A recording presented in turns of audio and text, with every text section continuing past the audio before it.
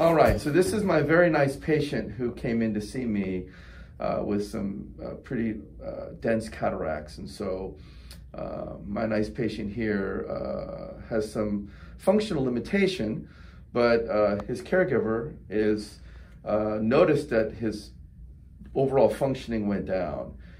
And so we went ahead and chose to do cataract surgery to see if we can improve his functioning.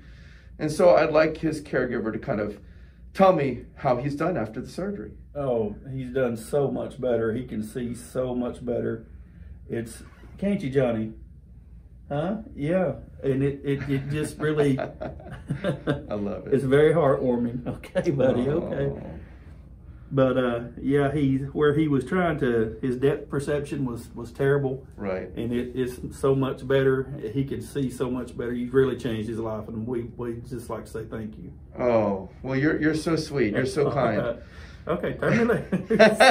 turn me loose. Oh, he loves you so much. Yeah, he's... You as you remember when we talked about his surgery, yes, sir. we talked about how you know he'd have to be still, mm-hmm. and uh, you know he couldn't move during surgery, and we talked about oh goodness, we don't know if he could do that. Right. And, and you you said you talked to him. You were in there in the pre-op area with us. Yes, sir. And then you, you I think you told me, yeah, I think he he feels comfortable. Yes. Oh yeah. He he, he really did. He really felt okay. Okay. he really felt comfortable. Uh, you know, you you put him at ease. Yes. Good. Good. Um, good. And um, there you go, Johnny. Terminator. There you go, buddy. you put him at ease. Uh, yes. Uh, he felt comfortable. He he you know, he wasn't scared. He wasn't nervous. Good, and, good, good, uh, good. And y'all took real good care of him, and I appreciate it. Well, we appreciate really it too. Appreciate it. So tell me again, what kind of trouble was he having before, and what's he being able to do now more? Well, his depth perception was was way off. Uh, like if he would reach for his straw, he would be about three or four inches to the left. He couldn't really tell where it was. Wow. Uh, he couldn't. Uh, I mean, I do walk up and down the stairs with him because uh, you know his, of his gait's not the best, but he right. was he was high stepping. He couldn't Okay. figure out where the steps were. Right.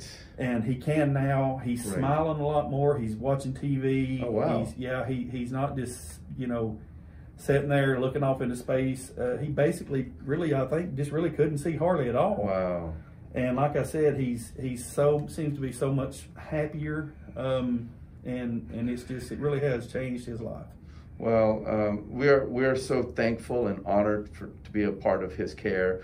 That's why we do what we do every day. So thank you so much for sharing that. It really means a lot to us. Yes, sir. And thank you. Thank you to your whole staff. has been wonderful.